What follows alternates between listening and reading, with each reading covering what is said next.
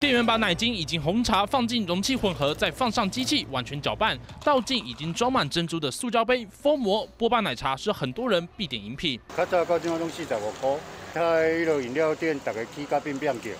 啊，刚才也无记啊，实在我们就感觉足甘心啊呢。蛮好喝的，不会涩涩的。比较比较喝不习惯。南霸天手摇店老板宣布，今年完全冻涨，虽然奶精跟糖成本都有上涨将近百分之四十，茶类部分也上涨百分之三十，但售价完全不变。业者私下透露，茶利润非常高，纯茶价格卖超过三十五元就不合理。自曝以一杯三十五元的茶类，扣除掉人事、租金、加盟金等成本，还是有百分之二十的利润，每卖一杯就能赚七块钱。我们有一座合格的工厂跟试做。合格的茶厂，所以我们的材料我们都自制，所以才可以有实力这样共涨。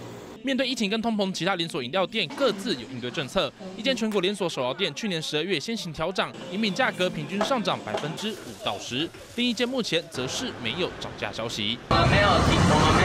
的话就没有。涨价是很久的事情，大概三四年。物价通膨，有业者选择涨价打平成本开销，也有业者反其道而行，宣布全年冻涨，消费者照旧喝得开心，还能省荷包。三立新闻王少宇、李晨燕台南报道。